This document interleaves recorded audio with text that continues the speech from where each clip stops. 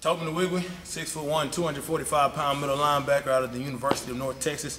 Today I tested at the Athletic Republic facility where I did the 40 yard dash, L cone drill, and the 5 10 5 drill. Also, I did position drills to show that I'm 100% healthy.